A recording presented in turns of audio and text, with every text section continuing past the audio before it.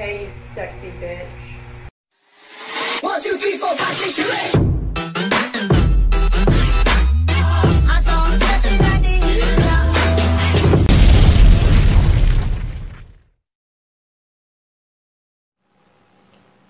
Buddhism is Not What You Think is written by Steve Hagen. Uh, it offers a valuable hands on guide in which examples from everyday life are presented alongside stories from Buddhist teachers, past and present, to banish misconceptions and inspire the newcomer or newcomers. Uh, Hagen clarifies what he sees as some severe misunderstandings about Buddhism and reincarnation and meditation. He is upset with those who practice Zen in order to achieve enlightenment, as though it were a prize to be attained. Instead, he states firmly Zen practice is attending to this moment, seeing it for what it is.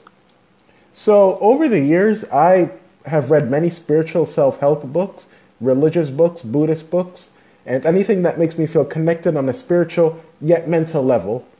Uh, the reason I decided to give this book a chance is because of the author, Steve Hagen. Uh, he is the author of the very first uh, Buddhist book I read. It's called Buddhism Plain and Simple, and I absolutely love that book. It really changed my life for the better. When at a time I felt like, you know, I really couldn't do any better or even good for that matter.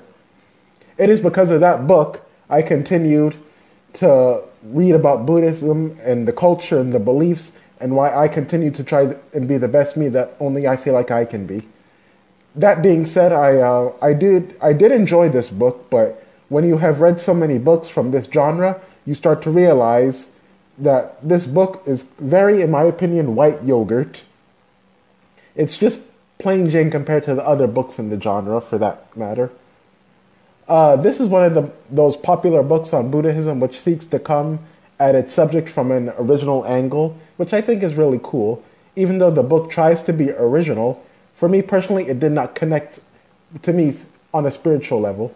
Also, if you think this is a good book uh, for you to start learning about Buddhism, I would have to respectfully disagree. Personally, if you are interested, I would suggest books by Thich Nhat Hanh. He did books like The, Wrong, uh, the Long Road Turns to Joy, uh, The Dalai Lama, Deepak Chopra, or Alan Watts.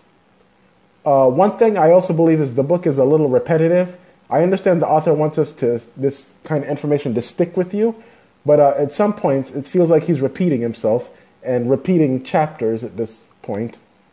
Overall, I believe this book is is okay. Uh, these are my final bitch and Buddha thoughts. It's a nice book to read, but it's very plain Jane.